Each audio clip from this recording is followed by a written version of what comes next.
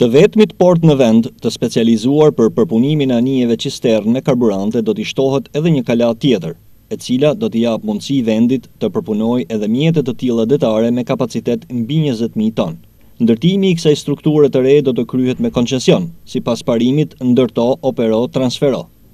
Kjo do të thotë se ndërtimi i kësaj strukture të re portuale do të ndërtohet nga subjekte private do të operohet prej tyre për një periudhë të caktuar kohe e më pas do t'i transferohet në pronësi shtetit. Projekti për këtë port të ri është tashmë gati, ndërkohë që mësohet se ka marrë edhe miratimin e Ministrisë së Transportit dhe Infrastrukturës.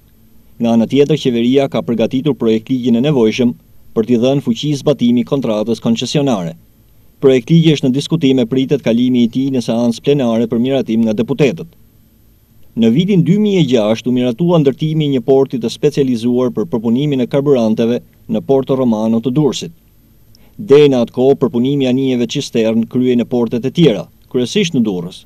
Por asnjë prej porteve të vendit nuk e ka infrastrukturën e nevojshme për një proces të tillë pune, ndërkohë që projektet afatgjata të zhvillimit e shihnin portin e Durrësit vetëm si port të përpunimit të mallrave dhe udhëtarëve. Kjo detyroi ndërtimin me koncesion të portit të karburanteve në Porto Romano.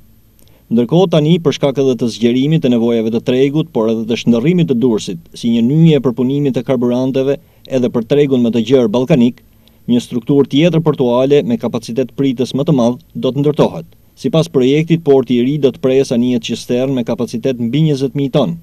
Ky port i ri do të bëjë që vendi ynë të ketë një infrastrukturë portuale për importimin dhe eksportimin e karburanteve me kapacitet deri në një milion tonë në vit.